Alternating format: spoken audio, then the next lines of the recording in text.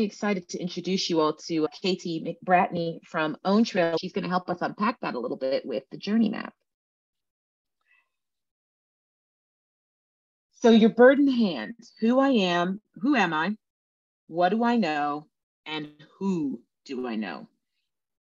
The answers to that is how you get to your unfair advantage.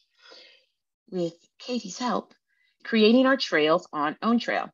I absolutely love this. It's really super fun and it's going to allow you to go through and figure out through your own story what is your unfair advantage. It's like the Zoolander. Who am I? KT's going to take us through that. Wow, what an incredible way to kick off a session and incredible next. I'm just grateful to follow the chief inspirer who does her job so incredibly well because I didn't realize how much I needed those words and to think about my bird in the hand. I am the co founder and chief community officer of OwnTrail. You'll get to know a lot more about me over the next half hour or so. What the context set? Trail is, I love that you said it's the most helpful place on the internet. What we are is a place where you can be your whole self where you can use tools and find community to achieve your next authentically, right?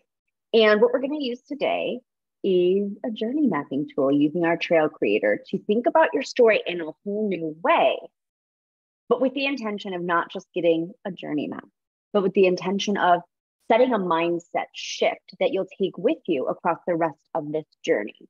So, this is very much planting a seed that you will take with you as you think about the next however many weeks. And knowing that this trail that we'll be creating together is something that you can and absolutely should return to as your journey continues to unfold.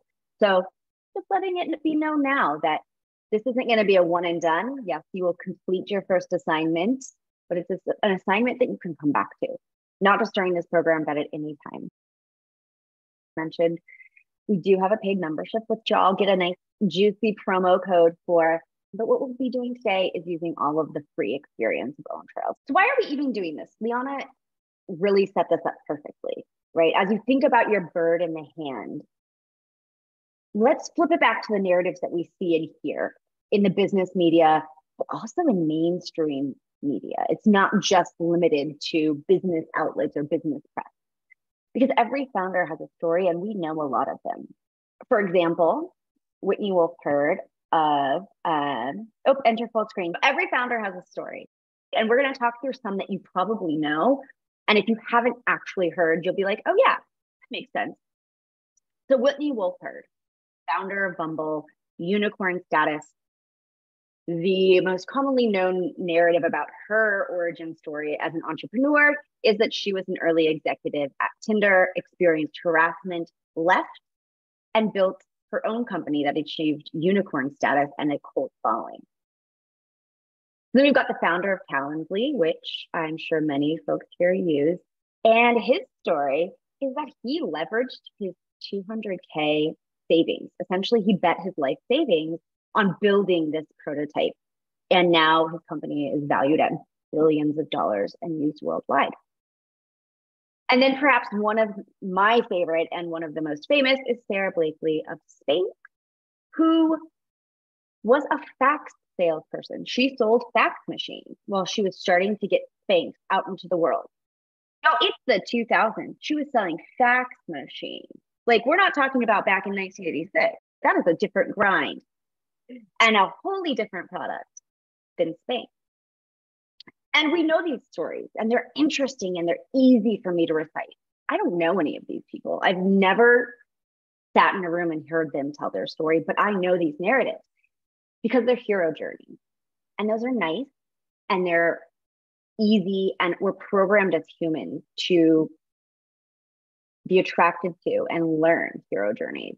There's an idea or an opportunity, a quest, but then there's a setback but yet the hero overcomes it and reaches this iconic status. And the thing is, we all have our hero journeys, and you are on your own right now. But the thing about Sara, Whitney, and Tope that that we don't realize when we hear their truncated version is that these are great stories and we might not see ours as the same, but they had to actually do it first.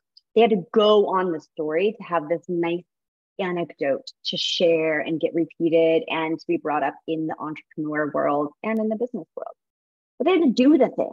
They lived it and the story came from that versus creating a story and trying to get your life to lead up to it or to live up to it. And that's very much in line with the bird in the hand, right? Like the story is already unfolding, you're living it.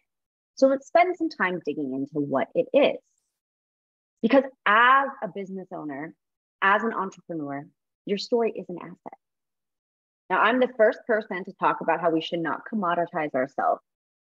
And also, your story is valuable in your business.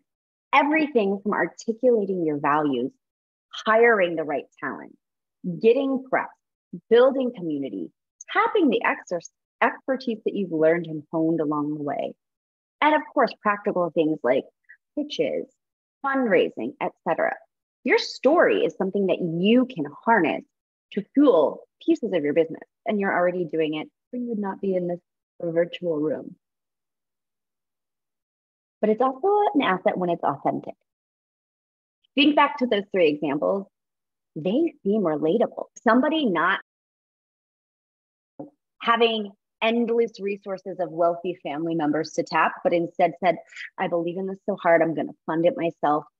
This is what we're going to do. You don't need to have the same bank account that he leveraged to do that saving, to tap that saving. But that idea of believing in it that hard is so relatable.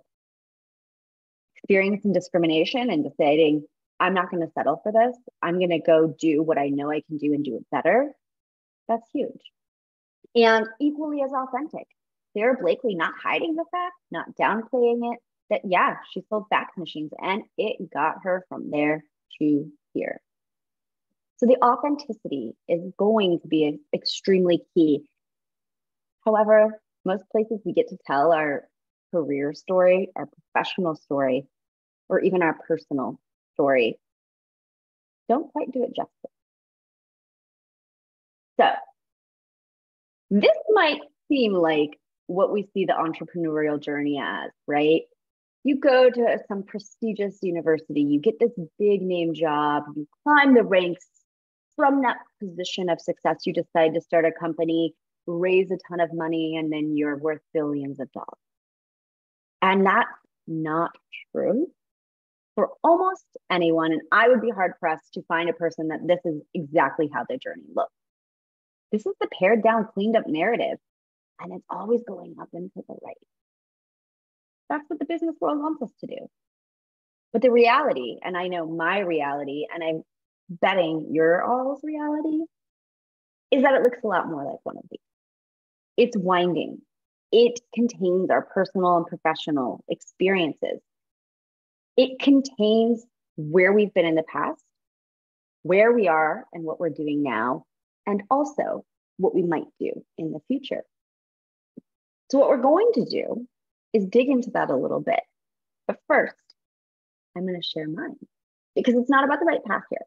This is an important thing to remember, much like the bird in hand, those go together perfectly. Is this isn't about the right path. That's a distraction. That myth that there's a right way to make your business successful and only one right way to do it is a distraction from you figuring out your right way. And now we're going to dig in to yours. I'll share mine as an example. So, much like Liana, I am an accidental entrepreneur. And this is my journey. And here are just a few of the milestones that I've shared on it. For example, there was a series of promotions that happened. That's on my LinkedIn. You can see it. But what you don't see is the job induced burnout after. And then there's the sudden layoff that happened while I was several years into my early stage startup journey. That was a forcing function for me to say, I'm no longer going to work like I own the company for a company that doesn't align with my values. It was a huge fork in the road that I never would have experienced without this negative, at the time, experience. And then there's the whole experience of finding my people who got what I cared about, what made me special, people who cared about the same things, the same kind of people that I'm guessing were the ones that you're going to message for this assignment, the ones who you can ask, what makes me great at my job? Finding those was absolutely pivotal and necessary before I became an entrepreneur. Which, of course, building OwnTrail, that's a huge part of my journey. That when I graduated from the university with a journalism degree, tech founder was not even a thing I considered for myself because I didn't know it existed. But what about what I'm doing next? I'm considering writing a book. Do I have an outline? Do I have a proposal? Do I have a synopsis? Absolutely not. But I can give myself space to name it here and say, this is one of my possible futures without having it be another thing I have to do. And that's exactly the path that led me to co-found OwnTrail, right? My non-linear journey, both professionally and personally, is what led me to be exactly the right co-founder for a platform. Babe, I'm busy. You can use it for the uh, four-year-old theatrics. Babe,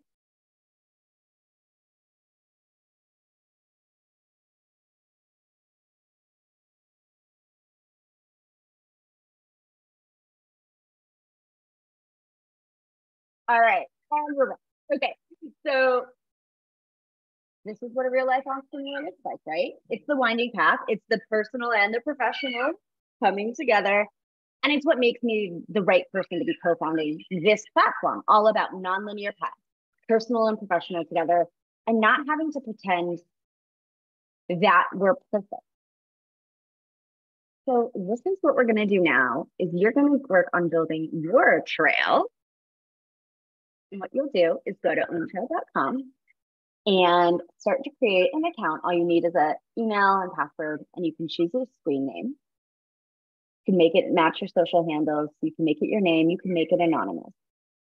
Because we're going to dig a little bit deeper than what's on your LinkedIn today. We're going to go deeper than what's on your CV. And like I said, we're going to plant seeds that you're going to water over the course of the next weeks to come and potentially longer. I'll weave in some admin logistical things as we go.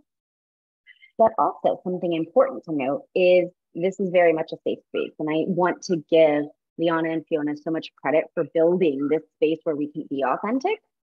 And I want to remind everybody that like you have full agency. So as you're working on mapping your journey using the trail creator, you'll have opportunities to share. Before we start to that, I'll just put out there that if anybody is a recovering space filler, silence filler like I am, it's going to be a challenge for you today because there's might be a couple places where we pause.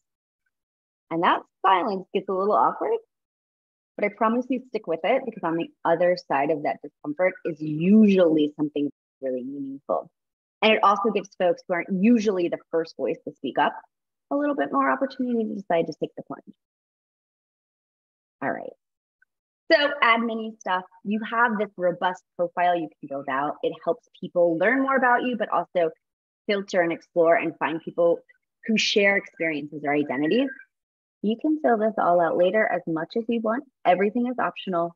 But one thing you should do is be sure to select inspiration space from the affiliations down here, because what that'll do is allow you to not just proudly claim your membership in this community, but to see the trails of other folks that are a part of this incredible community that Liana has built and enrich your connection with them. I bet you'll see something on a trail of someone's today. I know this happens with me and Liana where I'm like, I didn't know that about you.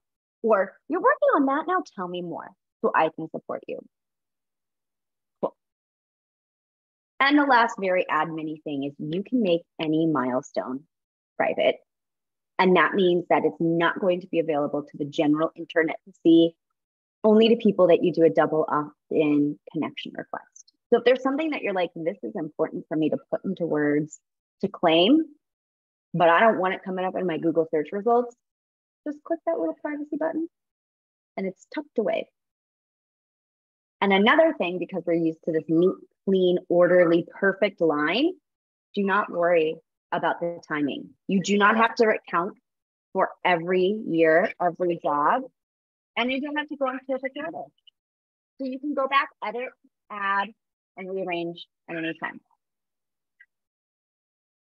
Okay. So OwnTrail is made up in this trail creator, that experience that you're in now, you've got kind of automatically put into it. We're going to add milestones and they can all be past, present, or aspirational.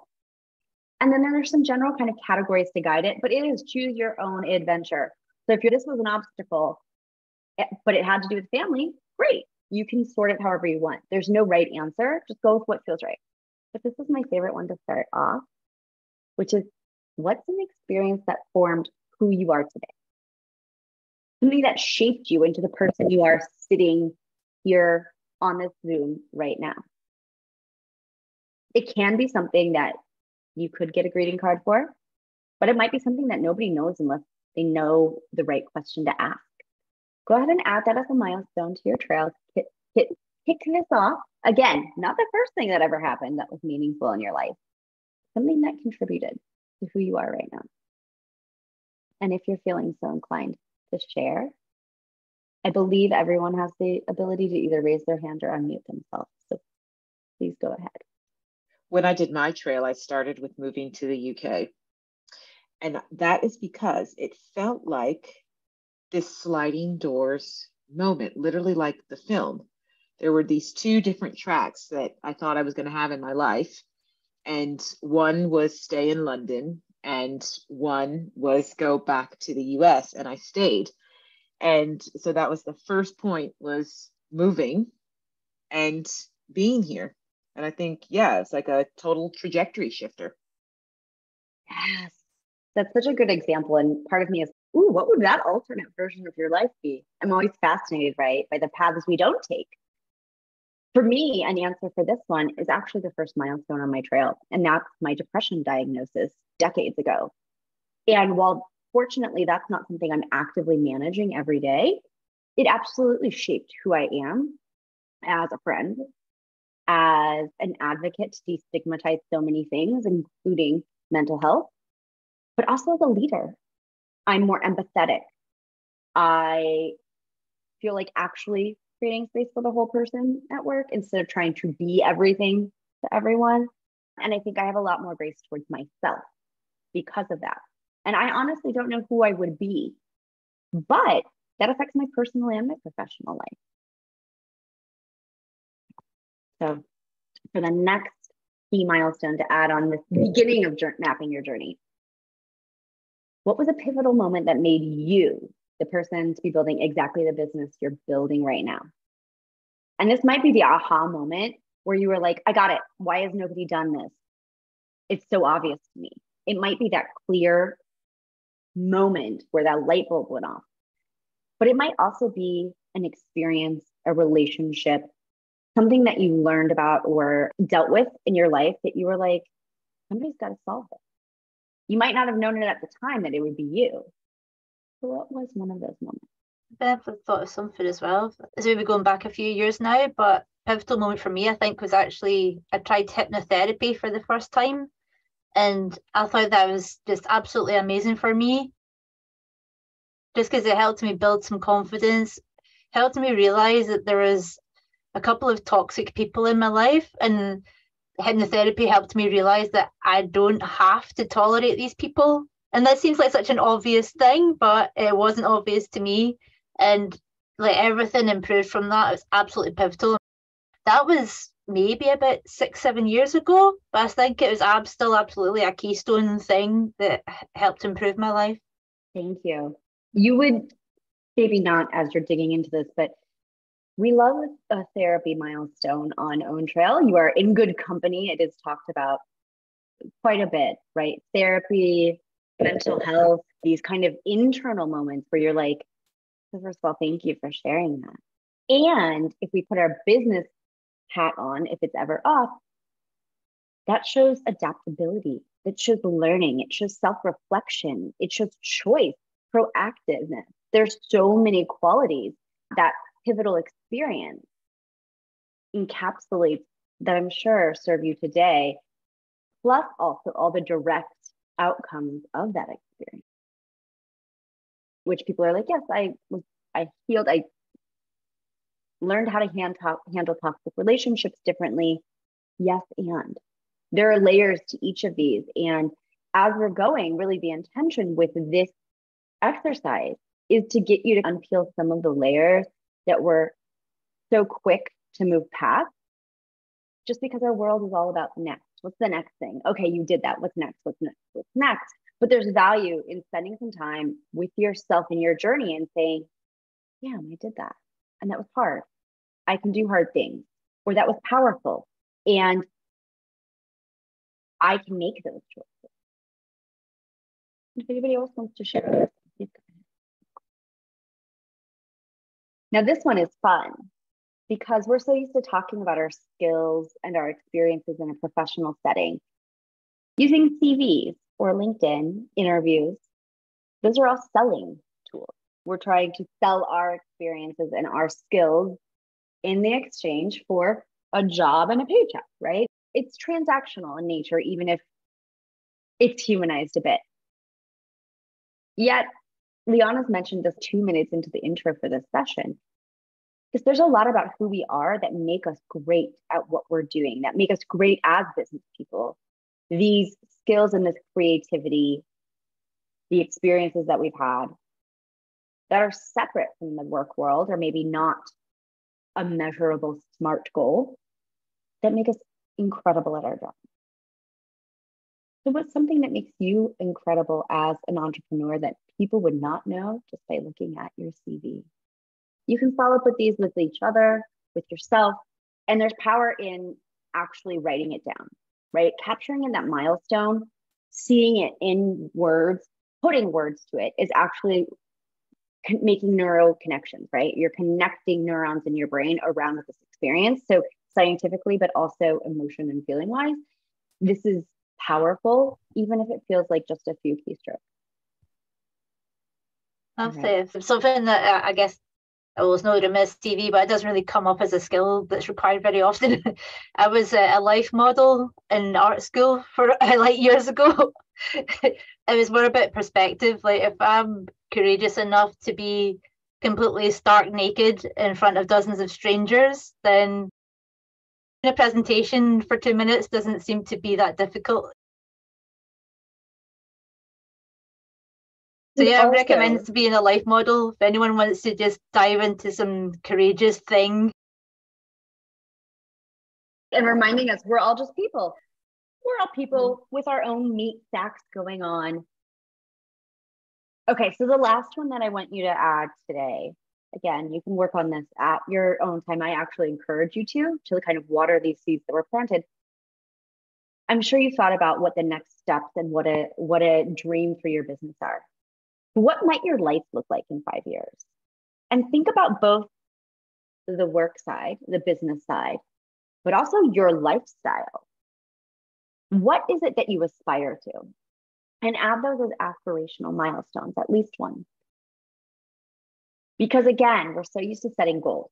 I will, we will have a million pounds in sales, whatever. I will have a team of 16 like we're so used to measurable goals, and that's awesome. Goals are great. I love a good goal.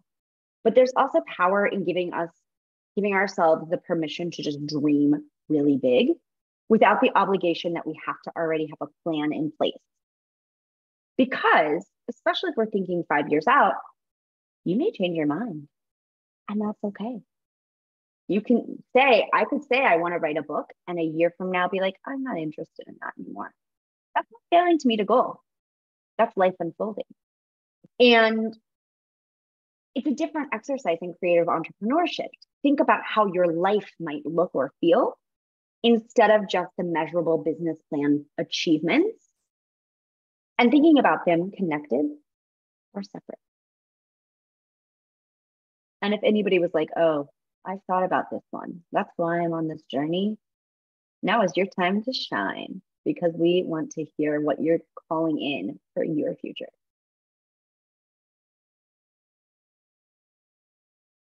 You can also use the chat.